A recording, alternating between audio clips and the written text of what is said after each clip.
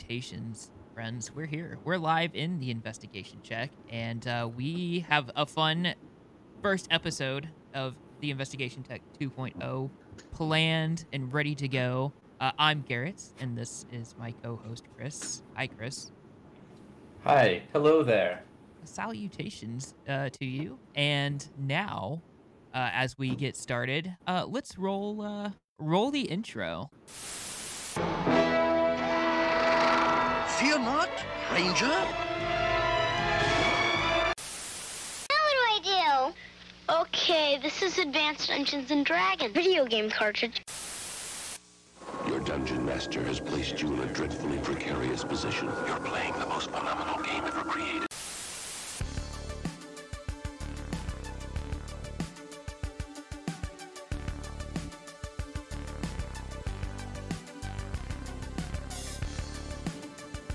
I was so excited to do that.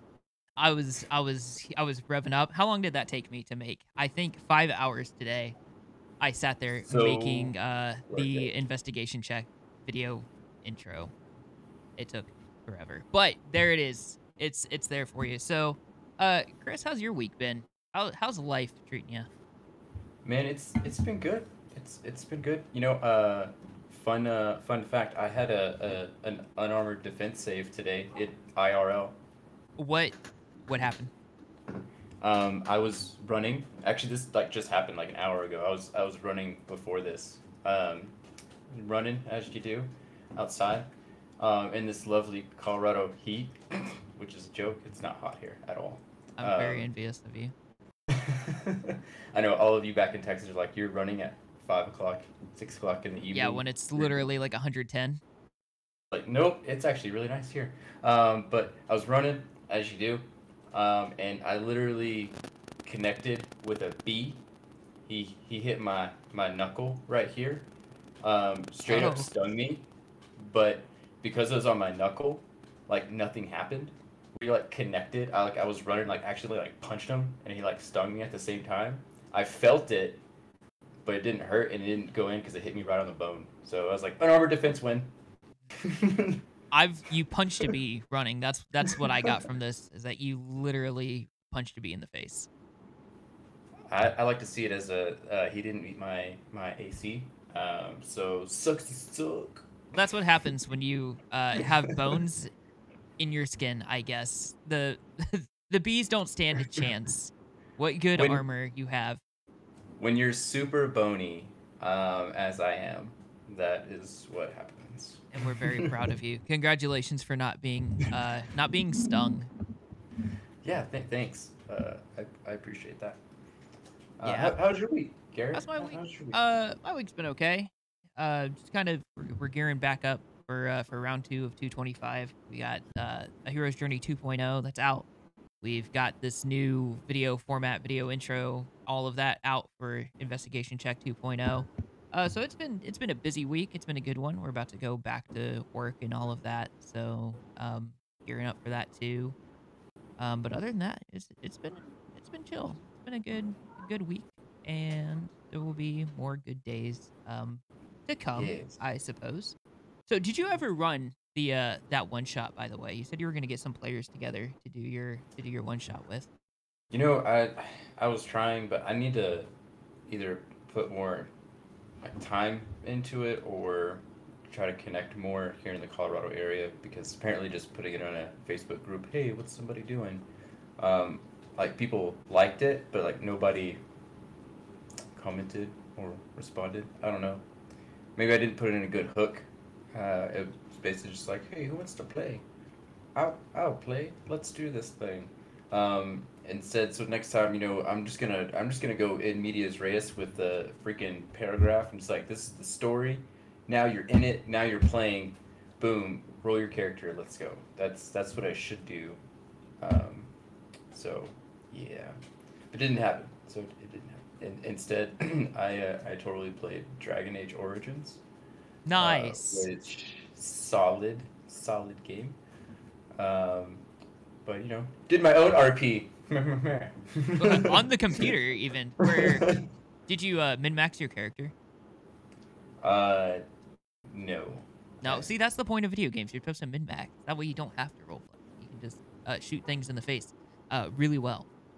I I do shoot things in the face with with support spells and wait until all my people do all the work. I just sit there and paralyze people.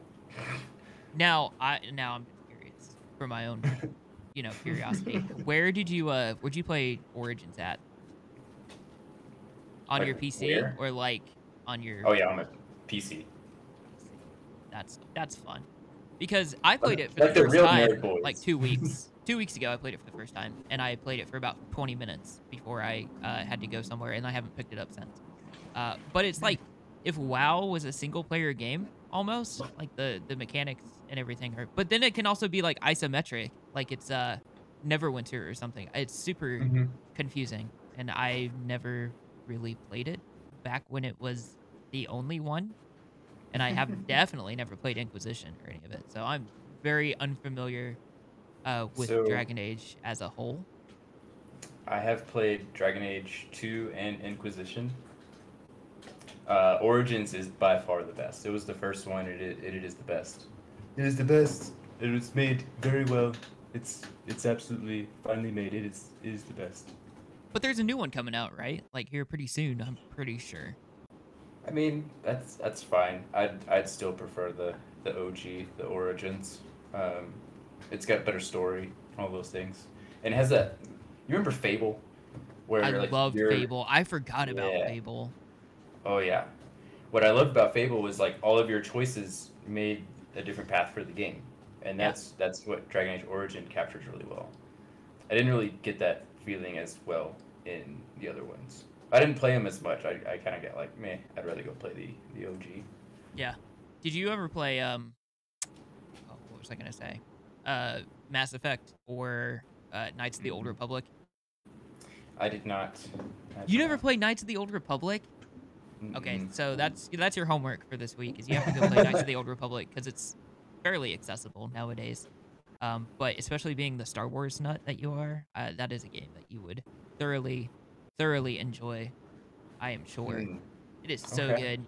It's uh, it's Bioware and it's awesome, and it's not canon, but it used to be many years ago, before Disney bought it out. But you know, there's some there's some fun facts for you. Uh-oh. Um, Thrasher is Uh, here. Uh, I- no, that's that's Trasher from our table. That uh, is- What's up? Uh, everyone knows I'm trouble. Everybody is- knows. you are trouble, trouble incarnate. I have to say. So, um, going back to to TTRPGs here, because that's kind of what what has, Oh, what has brought oh, us right. together here. Even though we've, you know, uh, we had a little nice conversation. Um, do you have any fun table stories for uh for us today? You, you know, I I do. I I really enjoyed our session last week. It was a pretty good session.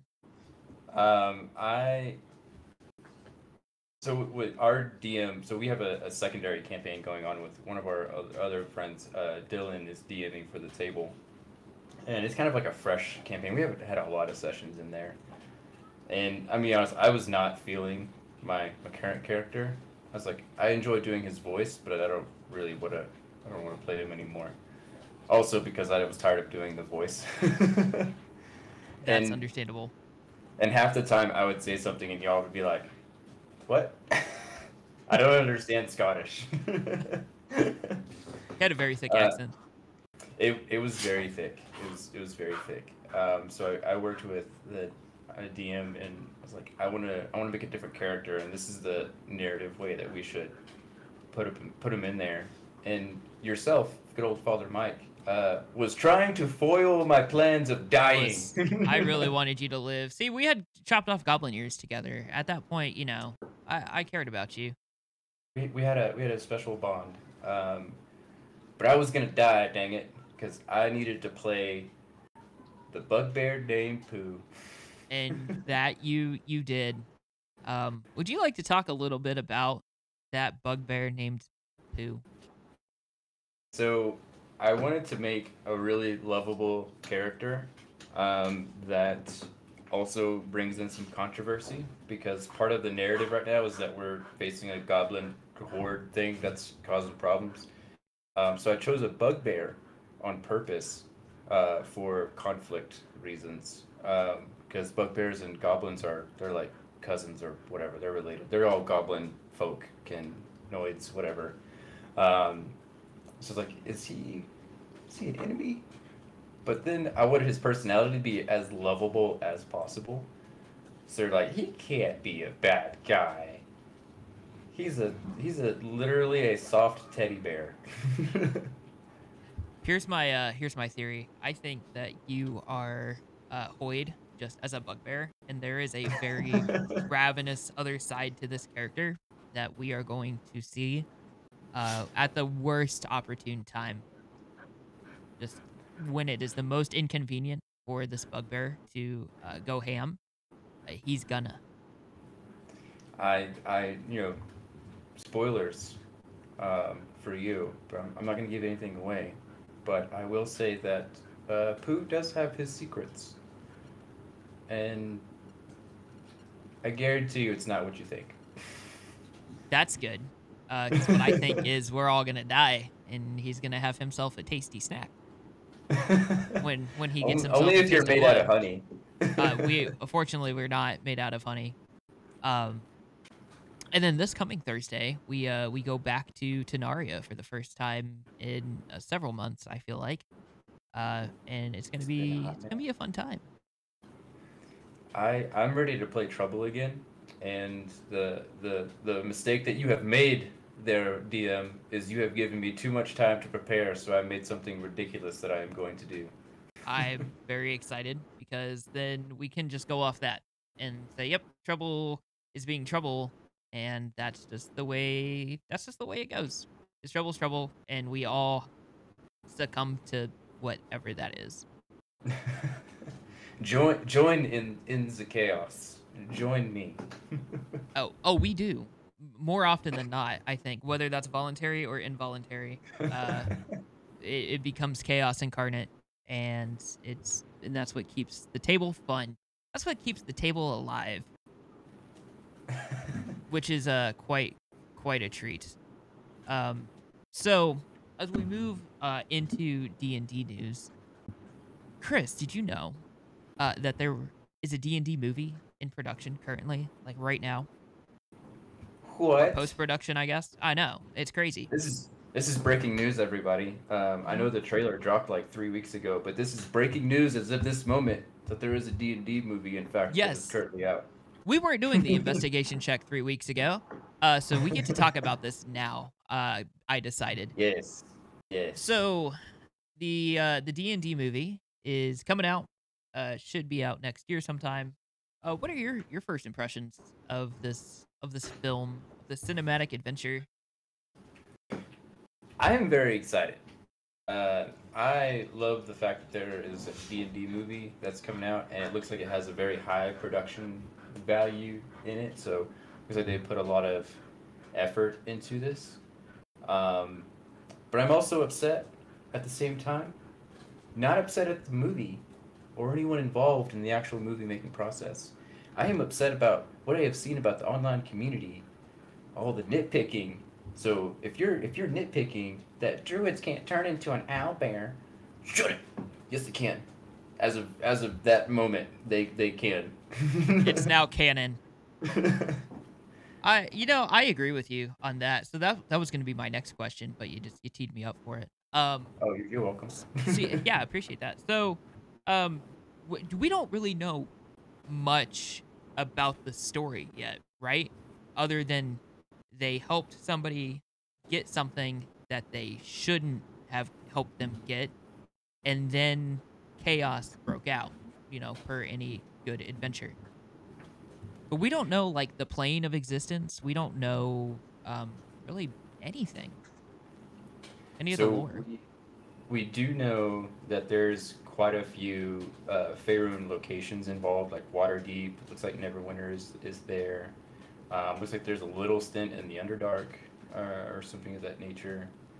Um, but you're right. Like we don't know exactly. There's some sort of MacGuffin thing that they stole and that causes problems, and everybody is guessing that it's the Wizards of Thay or or whatever that's also involved. Uh, so that that could be interesting. Um, myself personally, I'm looking for some some laughs and a, a pretty good story. It doesn't have to be great. Um, you know, I, get it, it's an it's an action movie. Um, so, and some people might be like, you know, I don't want a, a Marvel movie that's reskinned as D and D, but myself personally, I I do want a good Marvel movie that's reskinned as D and D. I totally uh, 100% agree with that sentiment. I think uh, Guardians of the Galaxy is the best D&D movie that has ever existed.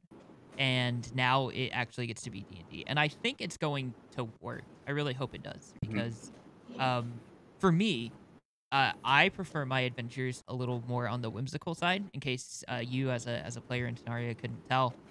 Uh, I, I prefer my whimsy and not my not my dark fantasy and stuff.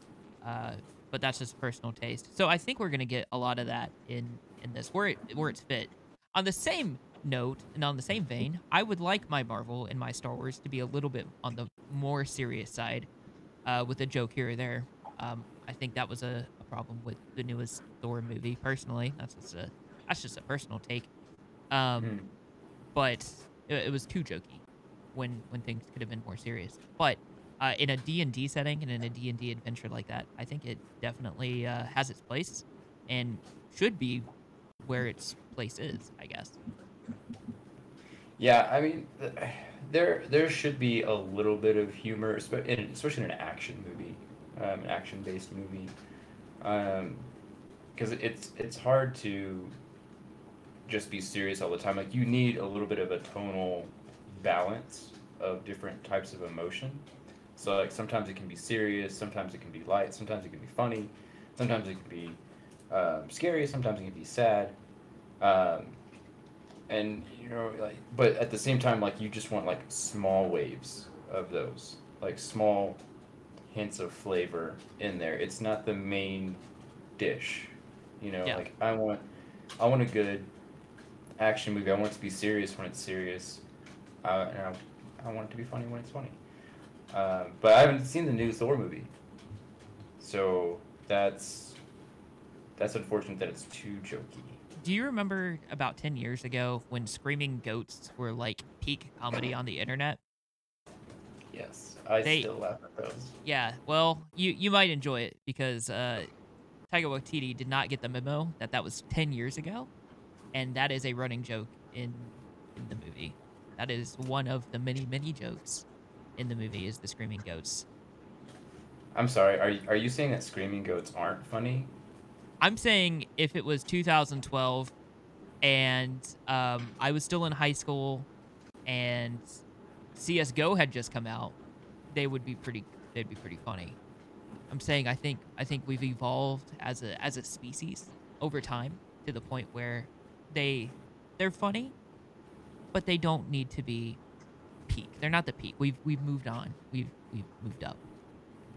That is Uh, my myself argument. And, myself and, and Trasher in chat uh, disagrees with you and still finds that screaming goats are peak cute comedy because it is always funny. You drop in a screaming goat, and it is instantly funny. Instantly Now, funny. wouldn't it be great if screaming goats were in the D and D movie, just so I could eat my words? That would. The druid transforms into a goat and screams at them, and then they run away in fear. That will be a scene. If that's not a scene, then I'm I will be upset. I actually want to make a druid now for the table, and um, I'm going to pull that up on my phone and play that as a sound. Um, so, if if you ever see that I'm rolling up a druid, Uh, know that That's, that's- you're the screaming goat druid.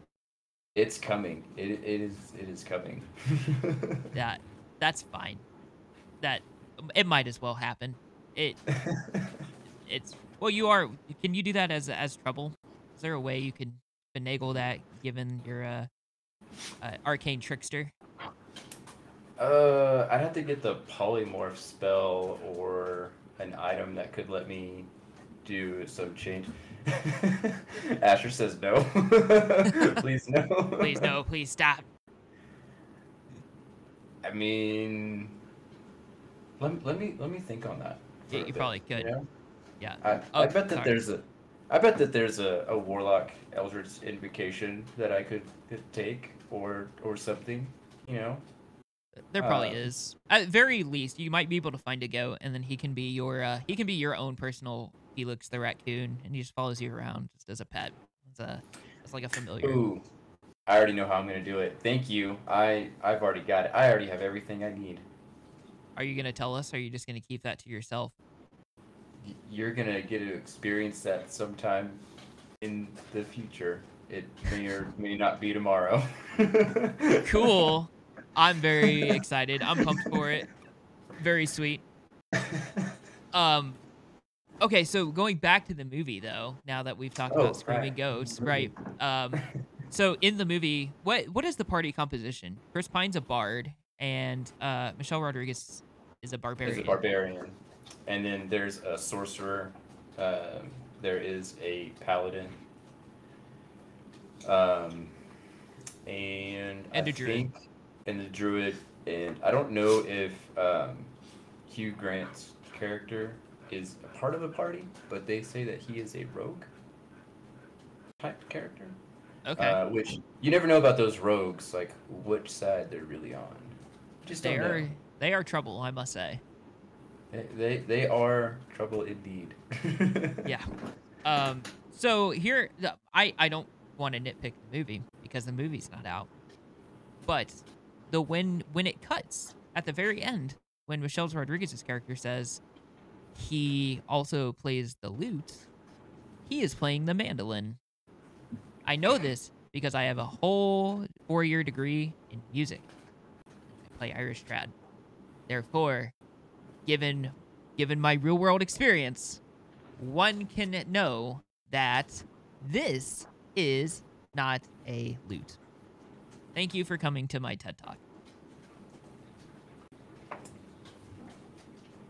I'm gonna indulge you in, in that, that bit of that, that fun bit of trivia um, for just for just a hot second. I, I have a follow up question. That and this is this is this is high level uh, in all, all seriousness. What's the difference musically? That is a great question, of which I would love to answer because any excuse to, to geek out is I'm here for it. So a mandolin, uh, a mandolin is smaller, and has f- four courses, eight strings total. So it's got two G's, two D's, two A's, and two E's. Uh, much like a violin. If you pluck the violin instead of bowed it, you have a mandolin, right? A lute is a lot like a guitar, where it's got more strings, um, and depending on the era and depending on the culture, uh, depends on how it's tuned.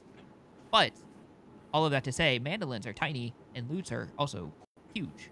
Um, especially if you get into baroque lutes, uh, the it, it covers the entire room. You should look some of these up. If you look at baroque lute, because they have these uh these drone strings that they play, and these drone strings are huge and they're long. So the neck is like seven feet long, and I'm not exaggerating. They are huge. Um, if I had it set up to where we could browse the internet, I would show you, and I'd pull it up. But uh, check it out. They're they're huge lutes, and that's a lute. He plays the mandolin, or a baby cittern, maybe like an octave mandolin. So, I heard a lot of words. Um, I un- I understood that a mandolin is, is a tiny lute or a smaller lute. Yes, a smaller. Well, I guess technically it'd be a smaller cittern, but yes. Um, and a lute uh, is like a old timey guitar. The guitar comes out of the lute tradition, which comes out of the oud tradition. It comes out of the Crusades. Um, in uh, in the in the ten the tenth the eleventh century, about ten ninety five. Uh, whenever people came back and they brought with them uh, Middle Eastern ideas of, of culture and, and love and stuff. Uh, it's not a lute. It's absolutely not. If it was a lute, if it was a lute, we would not be having this conversation. So, uh, Thrasher in chat said, so it's a lute. Absolutely not. It is not a lute. Um, and by the way, uh, Kelly from Homebrew Coffee is here. Hi, Kelly. Salutations uh, to you, and thanks for thanks for tuning in. Um, to this musicological discussion as we discuss the D and D movie. It's not a lute. The thing's not a lute. Thank you for coming to my TED Talk. I will I will die on this soapbox. Dang it. Okay. Okay. That, So that's that's that that's my insightful response. Okay. I, I care a lot more about what that instrument is called um, than I do about the druid turning into an owlbear by a lot. But also, it could just be that he does play the lute and he had a lute, and then they just cut to him doing that little jump strum thing that he did, which is possible. What what what what if it is a lute, but he casts the reduce spell on it? Then I will I will eat my words like a like a aged soup. Ew. If that is a scene, yes. Yeah. like a sweaty shoe. Be gross. The but things do I have recently learned in D and D is that uh, magic literally fixes everything. It, you, you, just- you just have a problem, you, you just magic it. If you if you still have the problem, you just didn't magic it right. Uh, exactly. Or just, you know, roll roll better. Who needs magic weapons when you just can roll better, you know? That's that's what I'm saying. ex- exactly. As as my DM likes to say, you sucks, get good. yeah, get good. That's all you have to do. Just get good. if you get good, then all of your problems are for nothing and they all go away. All you got to do is get good. Yeah, that that literally fixes everything. If you if you would just get good. Uh, And uh, I have not figured out how to do that yet. I will figure that out in time. When I figure that out, I will let you know. because I shoot him in the head does not uh, always work as as the uh, as the combat uh, when you're a gunslinger. Come to find out, but Um, yeah, as as Thrasher says, no wonder why fighters can't solve problems. That's exactly why um, uh, you weren't able to solve it by shooting him in the head because because you weren't magicking it. Now, That's if you were to true. shoot him with a spell in the head, that would probably work like fireball. If you would just fireball, because fireball is the answer. Just fireball. fireball fireball is uh, fireball's never the question. It's always the answer. You see. Always, always. Um, that's- so g- going back to, to the to the movie though, um, now that we've Okay. we've learned about the instruments, we've learned you know about that. I did not know it was in Forgotten Realms. That's exciting to know. Um, I guess I hadn't really Yes. Looked it up at all or thought to That is- until we sat here. That is confirmed. Um, they, they did confirm some of the, the city locations. Um, I would like to see some Baldur's Gate personally. I I would love it if they did a Baldur's Gate and they went to the Elf Song Tavern and that song was still playing. I would nerd so hard. I'd be like, "Oh my god, you're doing the thing," um, and it would be it would be so great. Uh, Um, as a Yeah. side tangent, based on what you just said about the Elf Song Tavern in Dark Alliance, it starts in the Elf Song Tavern, and there's the song, right? That's PlayStation 2 action RPG. Now, I don't know personally because I never played Baldur's Gate 1 or 2 or really any of those. But is there another video game or cinematic rendition that's canon of the Elf Song Tavern? That's not in Gate of Avernus because that's a book. I mean, you're you're asking me a video game question, and I have okay, well, that's played true. I have played three video games in my life. Um, I've seen three movies in my life, so together we've done six things. I I have played Skyrim, Dragon Age, and and and the the one I just said, Baldur's Gate. If you are in chat and you're vibing with us, um, let us know if you know. It has the Elf Song Tavern and that beautiful song ever been seen um, outside of Dark Alliance? Because Yeah. inquiring minds uh, want to know. yeah, Thrasher I- has I no would- recollection. I would like to know as well. That that's a that's a great question for chat. Um, overall, uh, the movie, I'm I'm really excited for it. Uh, I, I just want people to to back off with thinking that it needs to follow all of the the the rules as written, um, or rules as intended, whatever the argument is, because. I doubt that there is a single table that follows rules as written 100% of the time. And if Even if they think they do. even if they think they do, right? Even if they think they do, because we'll, we'll talk about that in the next segment. I have, I have a nice roll in for that now. Yeah. Um, so so let's move on to that next segment. Um, to if you're if you're ready, uh, my closing thoughts on this are I'm Yeah. I'm super optimistic about the movie. The cast seems pretty cool, um, and it is definitely D and D. So not and I'm not excited because it's D and D, but I feel like they finally hit home, kind of what D and D means to a lot of people. um, and we're gonna get that flavor uh, in a cinematic experience. So Oh yeah. Oh yeah.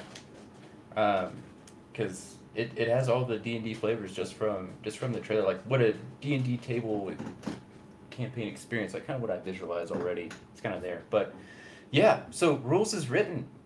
Um, that's a that's an interesting interesting topic. Um, because there's so many. There's so many rules is written.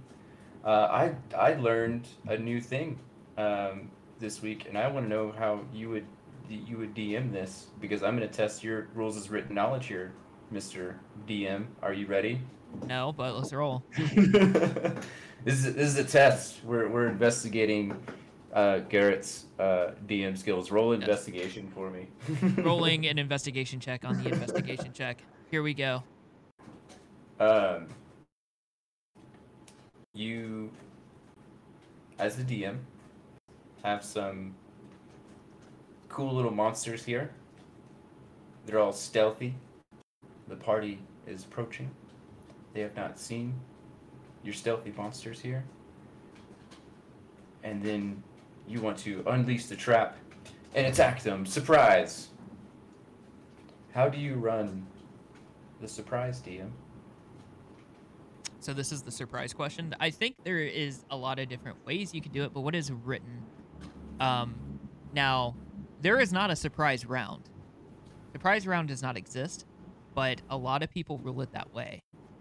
Um, if it was up to me, I would probably rule the surprise rounds.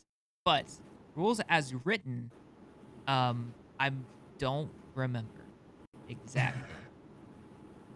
But I, I agree with Thrasher's sentiments in chat that if I roll, it's a crit fail. So no matter what I roll, uh, it won't happen.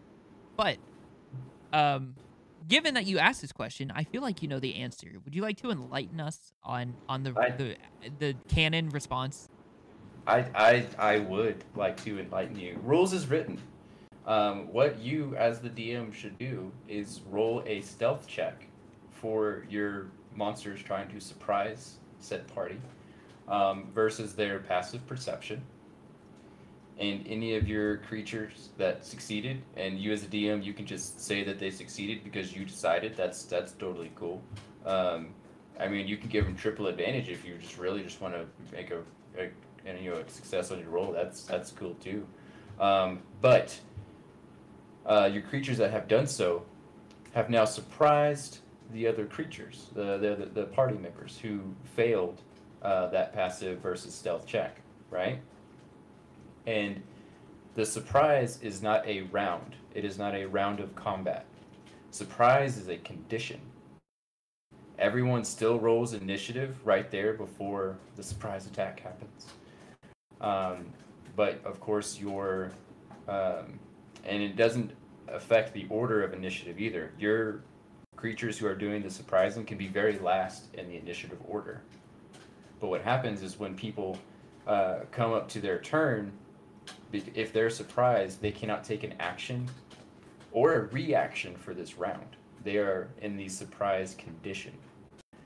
Um, and then it goes to, and of course, if you have like the alert feat where you can't be surprised, you say, "Nah, I'm still doing my turn because I can't be surprised, sucker." Uh, so you do what you want. Um, but then, of course, you get to your your monster's turn, who who uh, made their surprise, and they, they get to do their turn as normal. But no action, no reaction is is the big part of it. But your initiative order has already been decided. Um, so what tends to happen a lot is the DM is just like I roll to attack and I do my attack thing and now we're gonna roll initiative when I've when I've finished rolling my attacks. Um, the reason why this is really important is as the rules is written, the the intention behind it is to make sure that you still have a set order of events, so you don't have chaos at your table, where everybody's like, "Well, I want to do this, and I'm gonna do this. I'm gonna cast fireball, cause screw you," um, you know, or people like, "Well, you triggered my polearm master feat, and I get a opportunity attack against you, and you as the DM get to say, no, you don't, because you're surprised. You don't get a reaction." Um, so no Thrasher. It is not a surprise round. It is it is a round of combat where you suffer the surprise condition. but That it, is- it also it also brings credence to the alert feat because that that gives the the hey DM nope I can't be surprised so I still get my turn. Oh, looky there. So, um, for those of you out there that are like, gee whiz, I wish I knew how surprise work. Uh, now, now you do. What? So, what's the story behind that? Uh, Because you said you just learned this recently. Did you just read it, or did something happen? Um, I I watch a lot of YouTube things, and I saw it on the YouTubes. Um, shout out to Taking Twenty on YouTube. They're they're super popular, and they've got lots of lots of follows. Um, they're really cool. I don't think I've ever listened to or watched Taking 20. I, I do watch a lot of Constructed Chaos, though. He's my boy. I, I do love a good constructed chaos. I, I like to watch his stuff too. It's pretty sweet. Um, so there you go. So it's a condition. That means um, that you can't take your action unless you can because of some reason. Unless you can because because reasons. Well, there you go. Okay.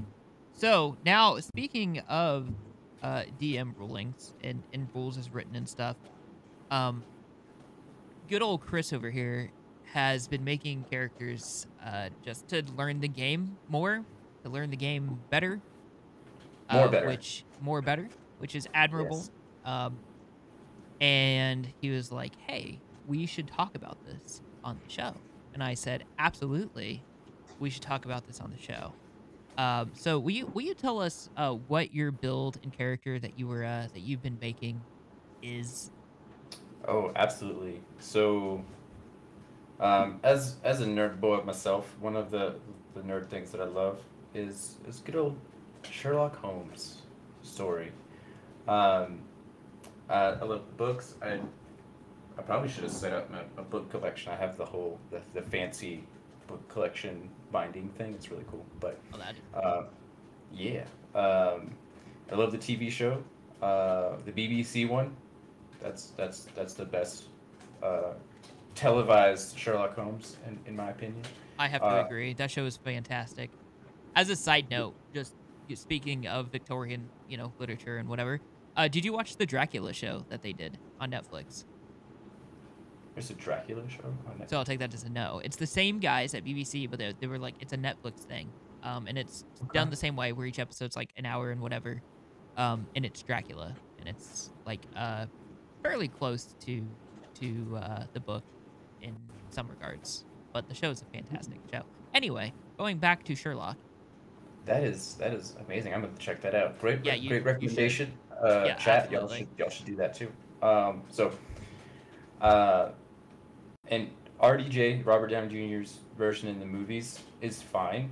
I just feel like it's not the same Holmesy flavor because he he he does too much fighting. He he's too good at fighting. It's cool in a movie. It is very cool, but it is at the same time not not Sherlock Holmes. What about the Will Ferrell rendition of Sherlock Holmes from the hit movie uh, Holmes and Watson? I have never seen this, but it offends me because I don't like Will Ferrell, and the fact that he would dare play Sherlock Holmes um, makes me want to buy that movie as a VHS and then slam it with a hammer. If you would like to know this, this this movie came out in 2018. Not to devi- deviate from the topic at hand, which is your build of the character, but I think you need to watch this to make sure your build um, absolutely uh, still holds up in the tradition that you want because it has a roaring 10% on Rotten Tomatoes, a 24% on Metacritic, and a 3.9 out of 10 on IMDb. Ooh, ooh, so such stark raving critics. They're so excited to watch that garbage. Yeah, it did Um, not do well. Uh, clearly. I, I clearly I could have told them that was a bad idea from the beginning.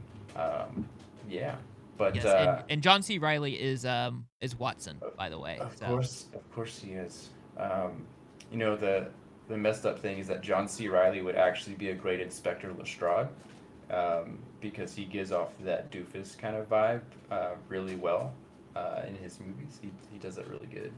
Um, but But no, he was Holmes. No, I'm That- sorry. He was uh he was Watson. He was. Watson. That that's that's so terrible. Jude Law is is the best Watson that I that I've seen. Um, I I take Jude Law's Watson and baloney cucumber pants as uh, as Sherlock Holmes um, every day. That's that's perfect right there. Anyway, back to the build. D and D things. Is- this is stuff. D and D. This is a TTRPG podcast, not some crap movie review. Uh, Um, that is fair and true. um, I kid, I kid. Um, so I, I wanted to, to bring in some of the flavors of a good Sherlock Holmes to to D and D, um, and some things about Sherlock Holmes. Everybody knows he's he's super smart, super investigative. He, he's really good at figuring stuff out, detective, all those things. Um, but some smaller bits of flavor on Sherlock Holmes is that he was also a very big um, uh, advocate for dispelling the paranormal. Because uh, charlatans, trickery, people passing off magic as real kind of thing was a very big thing um, in that time period of Sir Arthur Conan Doyle. Um, and uh, that's why uh, Holmes like had a lot of those demystifying what seems to be magic uh, in a lot of his things, like Hounds of Baskerville uh, was one of those. Uh, it's a fantastic story, um, but kind of demystifying magic. So I don't want him to use a lot of magic, like magic magic, but more of like a little bit of things that seem like just somebody's being really creative with their resources. Um, and and of course we want the um, you see but you do not observe uh, you know si- si- situation going down. So i made a build and of course i i took it to level 20 because uh, this build is very feat heavy. Like you you need the feats. The feats are what makes this build uh, good. And i i will say right now spoiler alert everybody um, Sherlock Holmes, the, the build that I made is not uh, is not a min maxing situation. He is not gonna try and do all the damage in the world. That is that's not what he does. Um, but he's really good at investigating and seeing stuff. Um, so the first breakdown in that level twenty, those twenty levels, I took twelve levels uh, to start off as a rogue and made the roguish archetype for mastermind. Um, I thought about uh, the inquisitive because you would think inquisitive, uh, he gets some bonuses to perceptions and on things, and inquisitive just sounds like Sherlock Holmes. But I, I like the flavor of mastermind more better because the mastermind has abilities to help his allies be more effective at things. So you can use help as a bonus action, and not just for people who are within five feet. You can use it for your allies who are within thirty feet. Um, so imagine you know Sherlock calling out, it's like, "Hey Watson, you should do this thing." Like in the middle of battle, like I would role play that as my help, like uh, call out to to Rudius, Tudius, Shootius. Don't shoot it in the head. Shoot it in the leg. That's more effective, you twit. Um, something like that. I don't know. Um, and I would I would count that as my as my help to give him advantage uh, or something of that nature.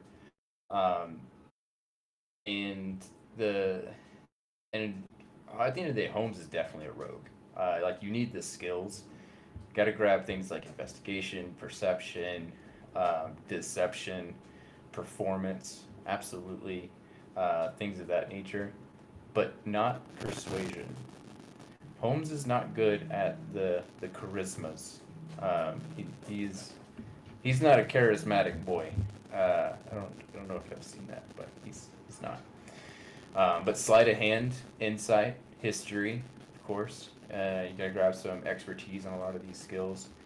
Um, and um, you get all sorts of lovely bonuses to have more uh, skill proficient or like tool proficiencies. So he gets like the disguise kit, forgery kit, um, other things of that nature, um, and additional languages. So a lot of good things with the mastermind, and this one right here really stood out to me.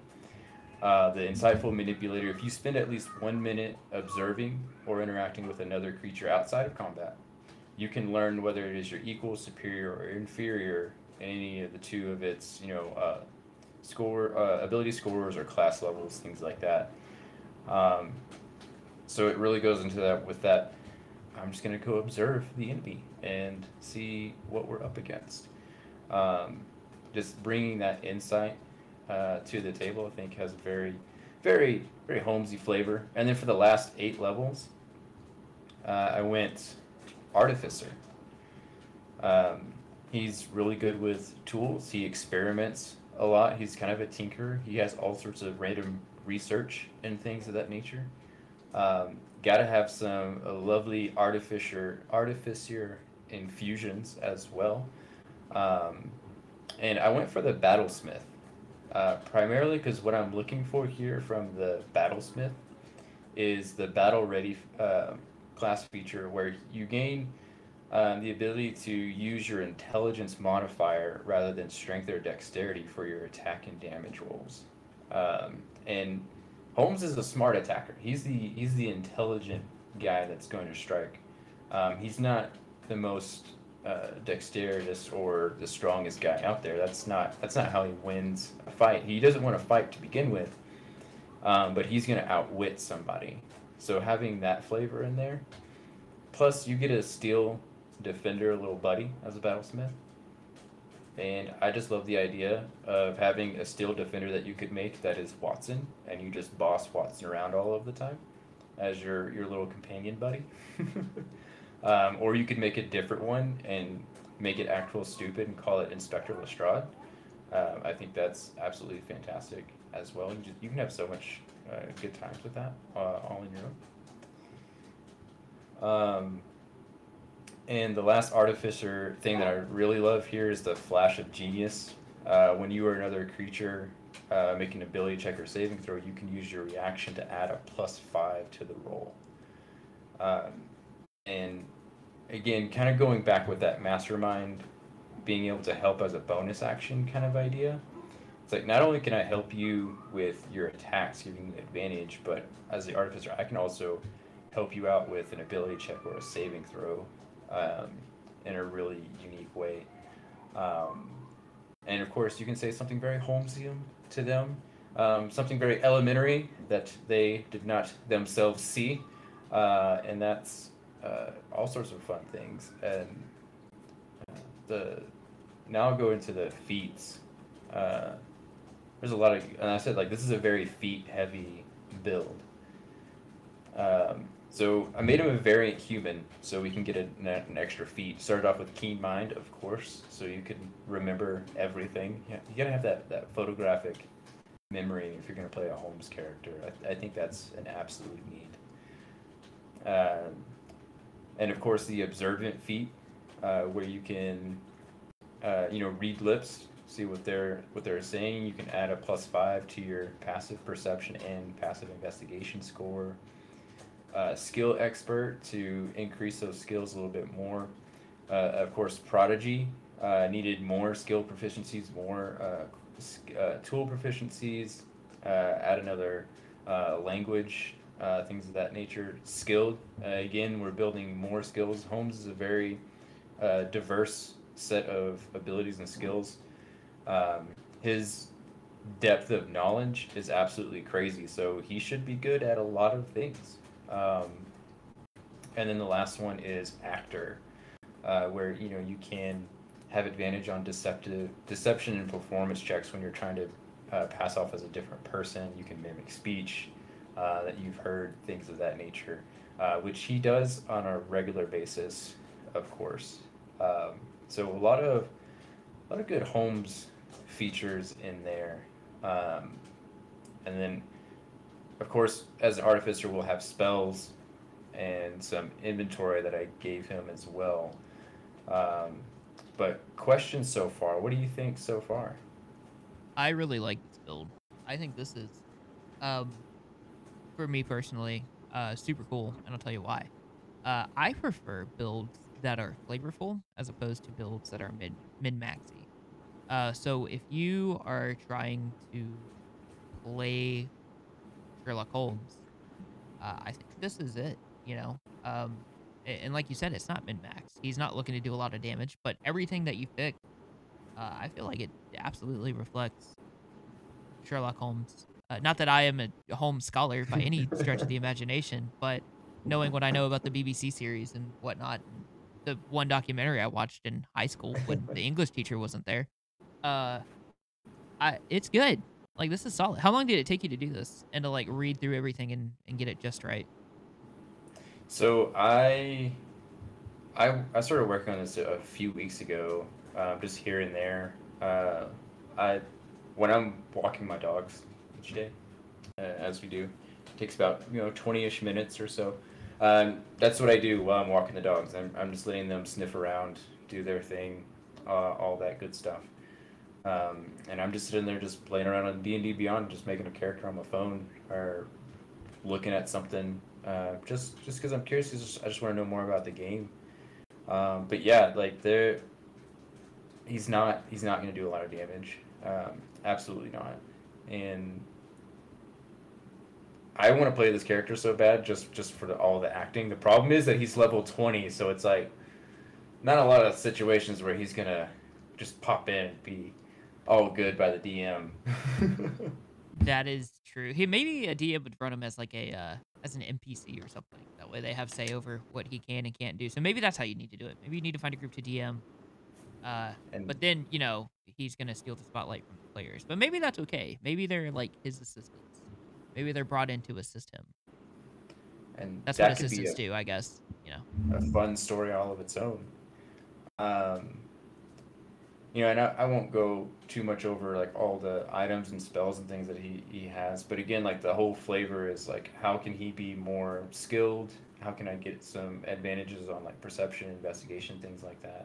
But um, my favorite thing about this that makes me laugh so much is that his passive perception is 37. Yeah, that is uh ridiculous. The best passive investigation is 32. Passive wisdom insight is 27.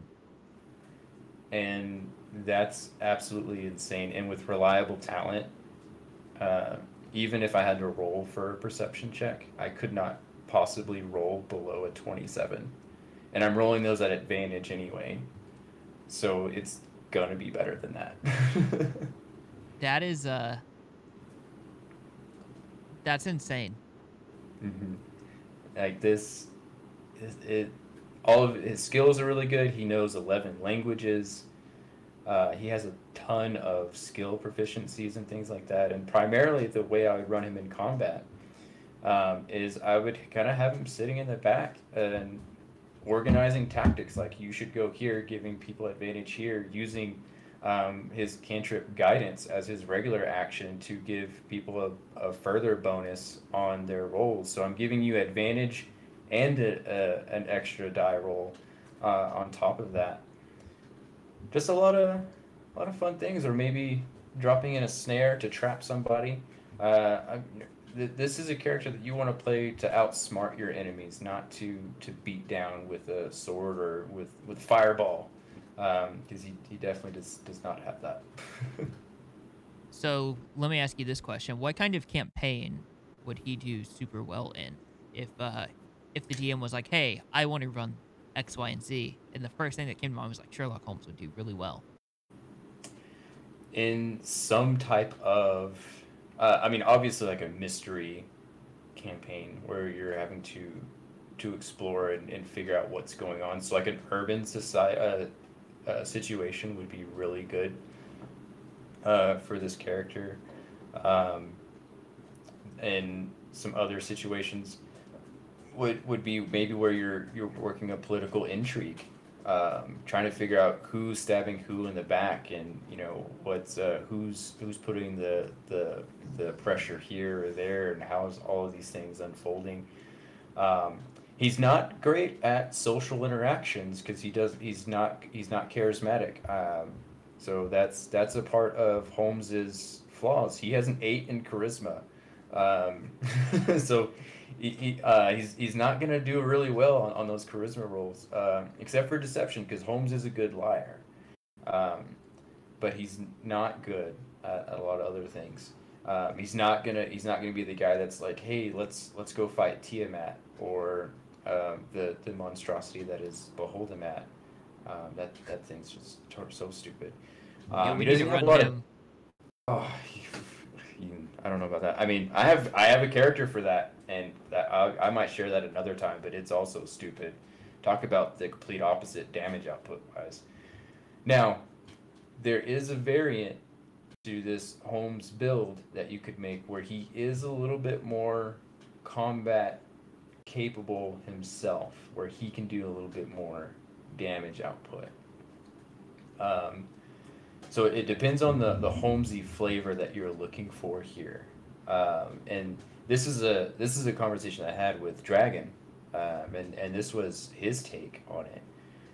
Um, he recommended a uh, Inquisitive Rogue, which I, I kind of mentioned before. There's a lot of benefits that Inquisitive Rogue brings, and instead of Artificer, take a dip into Fighter to be a Battle Master uh, to where you can use a lot of those battle master maneuvers to manipulate the battlefield. So it still kind of gives that same flavor where you're using tactics to to organize how the flow of battle goes.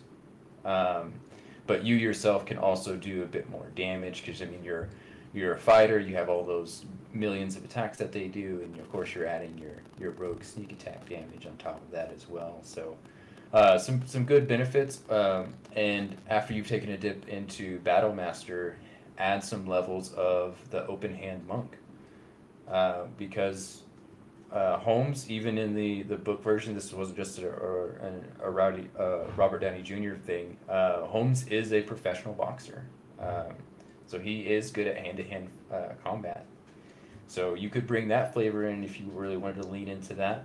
So that there there are some more combat options there if you wanted to him to be a little bit more effective in the battlefield and uh, or you, you feel like you're not comfortable having a, a version where you have to outwit uh, the situation every time because that that can be a little intimidating as the player. It's like I I have to play a smart character really smart. I can't just roll and say I'm smart.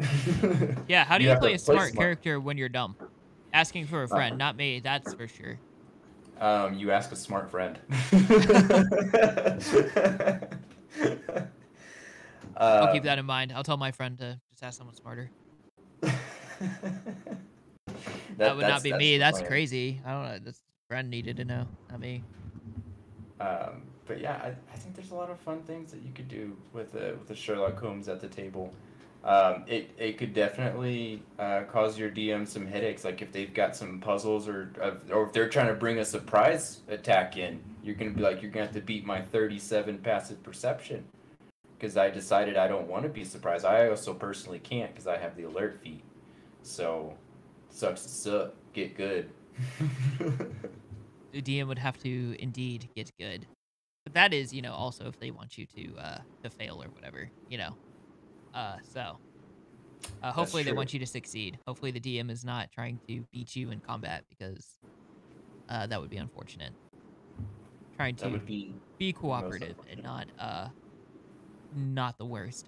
But um I guess we can we should talk about DM styles next time and like what is a DM and what should they do? Like what is expected. That's that's that's a good idea. Um, and I have I have one last thing that I just thought of on this build because I thought this would be hilarious to do. I, I want to know if you as the DM would allow this. Shoot. So in this build, as the artificer battlesmith, you can have your little your little buddy, your companion, your steel defender.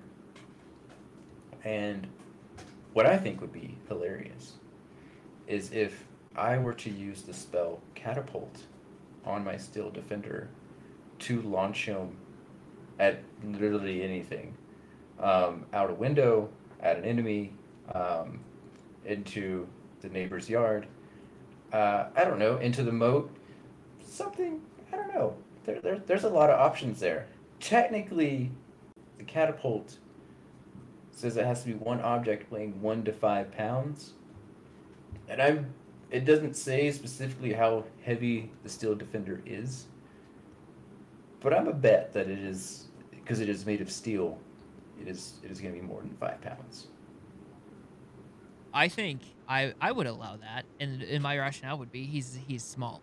If he is a tiny, tiny, like a little, uh, like a little robot, like the size of a of a raccoon or uh, any small mammal, I would allow that. Now, if he is uh, the size of a giant Goliath, probably not. that might be huge. If he's the Iron Giant uh, from the hit movie The Iron Giants, probably probably would say uh, no, or I would have you roll for it, and then it wouldn't Roll happen. for it.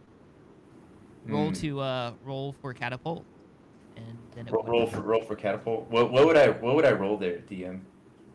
Uh you would roll a strength check, but not on yourself. You'd roll it for your catapult, Uh, My okay, very and very then uh interesting. and then you would fail, and Oh. and then I'd say unfortunately. Oh.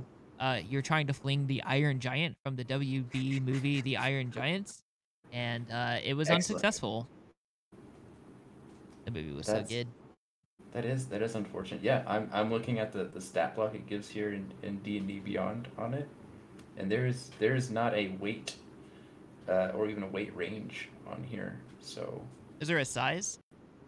uh, no, it it just says you your tinkering has born a faithful companion, a steel defender. It is friendly to you. Basic commands. Um, I would also say, for flavor purposes, it probably doesn't have to be steel. Like if the artificer wanted to be, um, like Yasmin, uh, from Story Elus. If he, if he wanted yeah. to make a uh, make a puppet Little out of wooden wood or boy. something, yeah, then that would totally be fine too. Uh, Oh, and it just kind of depends on your depends on your DM and how they would rule that. But that's how I would rule it. I just think it would be funny. Um, it, it doesn't even have to do damage or anything like that. I, that's not really what I'm worried about. Um, I just picture, you know, R two D two when he just like flies through the thing and he does a situation. That's exactly what what I'm wanting this to happen as. But Yeah. as he's like, Yeah. I would let that happen just for that to happen. and there he goes. I love the fact that Watson and uh, the inspector are the steel defenders. They are the, they're not people uh, from his past. They are his constructs, and that makes me so happy. Absolutely. Uh, yeah, next time we will have to talk about some some DM styles. Uh, you know, we because even even the two of us, like we we tend to have a lot of overlap, but we we still differ a, a little bit, a little bit. That is true. Um, Uh, but yeah, we, do- we do have a DM lot very of overlap. much. I DM when I can. Um, so, uh, we were gonna do monster of the week, but we can do that briefly as we're going on about an hour and ten minutes now. Uh, this is my favorite monster of all time. If you've ever tuned into 225 or have sat at my table, uh, you will know, uh, the in-person table, you will know that my favorite creature is undoubtedly, with with every fiber of my being, uh, the Kuo-toa, the fish people who can summon gods because they think they exist.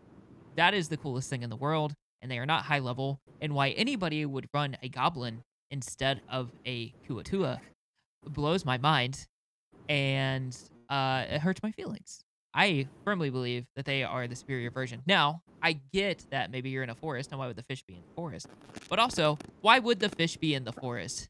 That's your job as the DM to figure that out. Why are they in the forest, away from home? It is it is a bit fishy.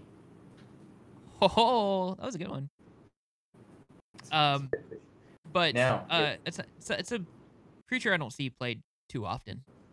And it, it definitely deserves deserves some more now because I, I i just have to drop this nugget because they, the people need to know if if your dm decides that you're you're gonna have to fight all these kuo-toa and they're they're trying to do the whole god thing you as the player should tell your dm no i decided that that's not going to happen because i am the new god and these Kuo-toa need to believe that.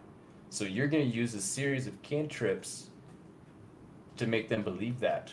Yes, I said cantrips, and I'm referencing a very specific situation that happened at our table Yeah, that I almost got away with. You did. but those it's those ever warm cookies. They'll get you every time. I'm telling you. I, I was doing so good and then and then I failed with the cookies. But man, if, if I if I could have made that happen, bestow upon me the godly powers, the Kuo-toa. It is it is I. I am the one you have been looking for. I, you know, thinking back and being like, gee whiz, what should I have done? I probably should have let you get away with it. Maybe it was a little unfair that I didn't. Maybe it was a little railroady that I didn't, and I apologize no, for that. you But you you definitely should have tried to resist that because at, at the end of the day, I, I was trying to get godhood with a couple of cantrips. well, when you say it like that, uh, yeah. Well, you know, I don't know. They uh, it's an interesting world scenario, but um, maybe maybe we'll see them again. Maybe we'll see those fish people. Maybe they're not all all forgotten about at this time. So, uh, or maybe they are. Maybe they're dead af. Who knows? Um, so there you go. Moral of the story: uh, run the Kuo-toa in your games because they are full of flavor and not just like smoked salmon. They are uh, they are full of, of lore flavor as well. Um, so with that being said, is uh, do you have any closing thoughts as we close out episode one of the investigation check oh? 2.0? uh, my closing thought is that the intro video is amazing. I want to watch the Um, intro again. Can we watch the intro again? We, We're gonna watch should the- watch the intro again. It was so good. We're gonna watch the intro. great job on this. So hey, thank you. It only took me as long as it took me. So uh, bear with us. We're gonna watch the intro again. Here it goes. We're watching it. Fear not, Ranger.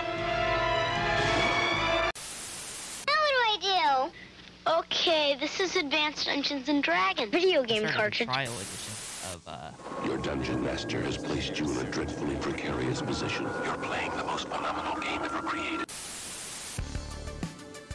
People should definitely just just chat up Garrett and be like, oh my god, it's so good. It's like it's like super professional. Amazing. Yeah, Uh, yeah. I I'm pretty I'm pretty proud of that. I worked my butt off um, and uh, showed it to a couple people before we went live, and everybody thought it was really cool. Which makes me feel good about myself. But uh, yeah, it was super neat. Now I need one to leave. We need a, a leaving outro. Mm. And just as a side note, this has nothing to do with anything, but um, you ever been to an Alamo Drafthouse? I love Alamo Drafthouse. They are I too love. Alamo Drafthouse. I think we need the uh, the going live, which is this button right here. Uh, we are looking at it currently. This is it.